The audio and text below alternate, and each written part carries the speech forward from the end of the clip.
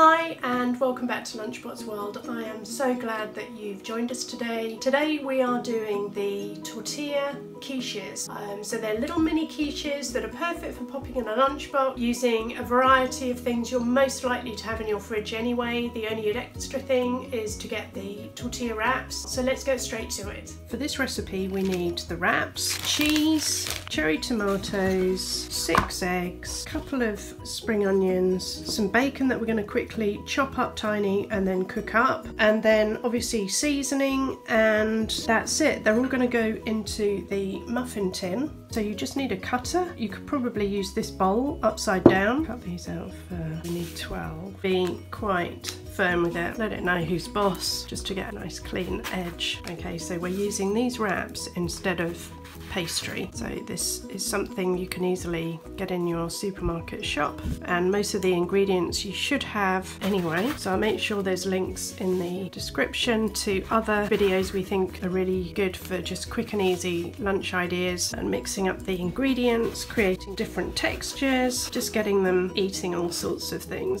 And the great thing about these is that they're easily portable. It doesn't matter if they're slightly out that's just part of the charm. So just try and make sure that they fit around the edges. Now these are quite shallow, these little bun tins, so just be careful that you don't overfill them. Just make sure they're all pushed down and then we put this to one side. We're just going to chop this up into tiny little pieces and then just quickly make it nice and crispy. And you've got to cook the bacon before you put it all together.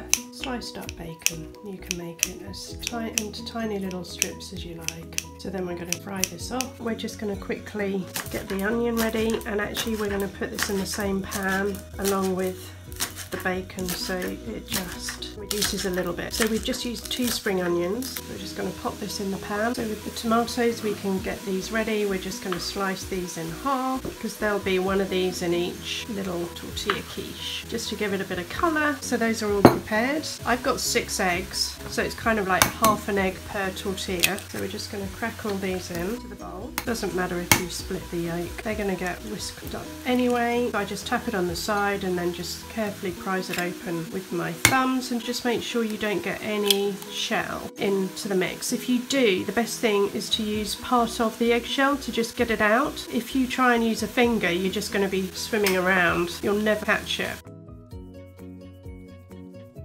And there you have it. Okay, so we're just going to use the fork, a little bit of salt, not too much because there's going to be salt from the bacon, pepper, a little bit of mixed herbs, going in. A little bit more. There we go. And then this is ready. Okay so put this to one side and then meanwhile we're just going to grate up some cheese because this is going to get sprinkled on the top. So I've already started. I love this because it's just a handy container it captures everything. Let's just grate this all up and use whatever cheese you've got. This is just cheddar so I'm going to probably do enough for a sprinkling on the top of each of the 12 so we've now got the cheese ready, the egg mix, tomatoes that are going to go on the top and we are really nearly ready to assemble it all together. So first off we're going to go with the, the bacon and the spring onion mix. So here you can see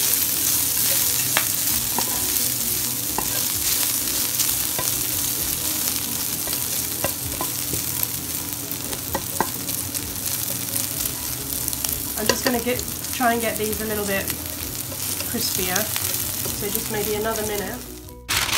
So we're just going to line the tray. I don't worry too much. Okay, so we're just going to put these bits, chop them up or tear them. These are just going to be like little crispy, tasty bites. These are going to go in the oven at the same time. We'll see how they come out. But these are just the offcuts. You know, they're the weird shapes. And what I'm going to do is give them a little bit of seasoning on top.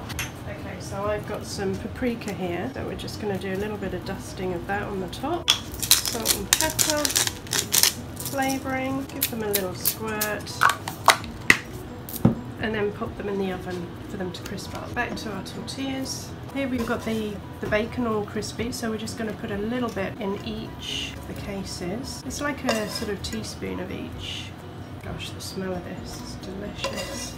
Try and make them equal. My kids always notice if they're not equal, but you know, you can only do what you can do. So you don't want to have anything on the edges because otherwise it just sticks in the oven and then it's a nightmare to get off. So it's a lot easier if you take it away now. There we go. Just kind of make sure they're fairly even.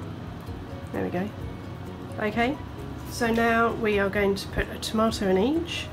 Okay, and then the egg mix. So just be careful. Don't, oh my god, don't overfill it. Because the trouble is, if you overfill it, you can't take it out. So I'm just going to mop that up. How not to do it. Okay, so we've got our cheese. We're just going to sprinkle a little bit on the top of each. You can see these are pretty fully loaded. So we might have a messy oven on our hands. Okay, so we're just sprinkling on the cheese now. And there we go. These are, this is going to explode. So I'm just trying to spoon some out and put it in another one. I still think it's going to explode. Okay, so you get the idea. Oh my god. Okay, so these are going to go in the oven just long enough for the, the egg to cook and we'll just keep checking on them.